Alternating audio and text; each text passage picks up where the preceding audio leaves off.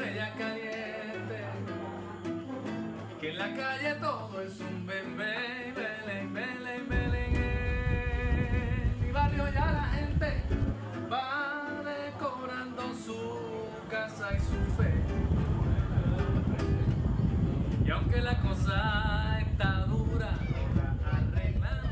what we lived here was the fact that there was a complete collapse of everything, and what was left was uh, people being able to look out for each other, like look like communities take hmm. care of each other.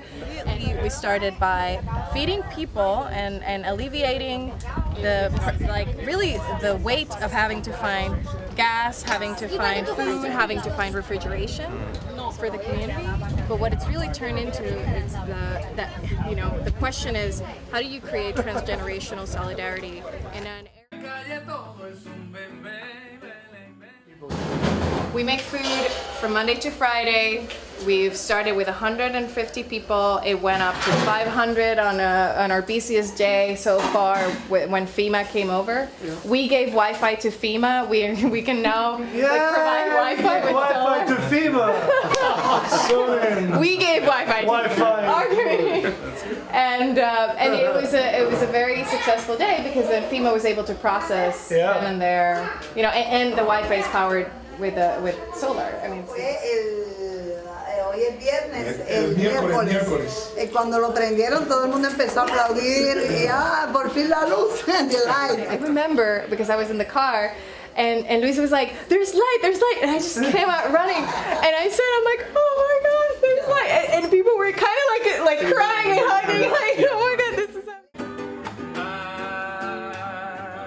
We put uh, two filters, three filters of uh, water filters, big communities, in in two different rivers in in this barrio, in, in this neighborhood. So we kind of want to make an example of like Puerto Rico can like a model of it, like This the solar. This is the model, yeah. Yeah. Solar and and, and a community filter, so we can actually move on because the other way is not working for us, you know. And if you see the electricity cables down the road, is here is not gonna get the electricity as like six or seven months.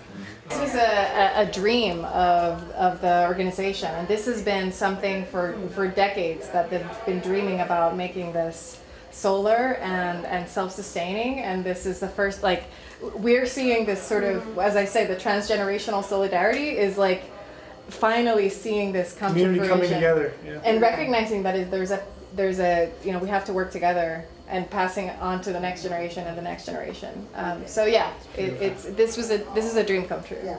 This is a dream come true. Thank you.